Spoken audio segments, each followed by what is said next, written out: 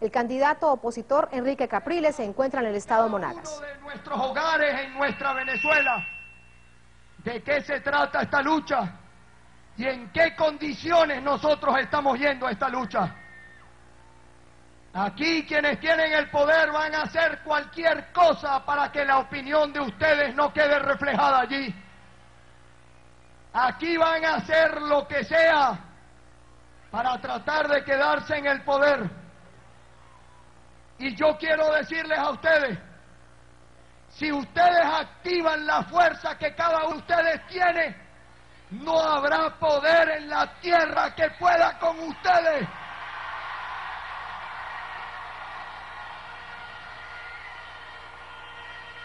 Yo se lo repetiré una y otra vez a nuestro pueblo. Y quiero volverlo a decir en esta tarde con ese cielo. Vean al cielo. Fíjese. Uno ve el cielo y uno dice, hay esperanza, hay fe.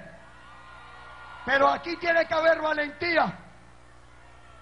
Y se lo he dicho muchas veces a nuestro pueblo, especialmente a nuestro pueblo que piensa distinto a nosotros. Yo no soy la oposición, yo soy la solución de los problemas que vive Venezuela. Pero yo solo no puedo, yo necesito a cada uno de ustedes, a todos los venezolanos y venezolanas.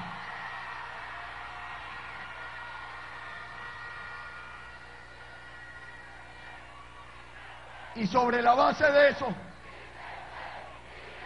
uno piensa,